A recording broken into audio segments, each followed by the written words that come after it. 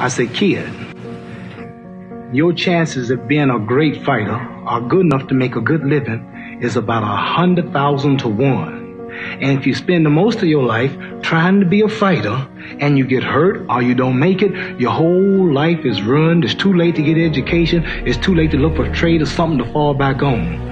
I say, no, take your education, take your mind while you quick for developing, go to school, learn to read, learn to write, be a mechanic, be a doctor, be a lawyer, go now, learn, get your mind conditioned, spend one day.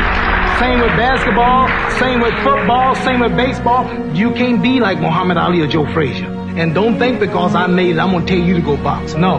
Get your brains together, box the exercises, but get your brains together, get educated and get a trade. Because you might not make it, there's too much risk involved.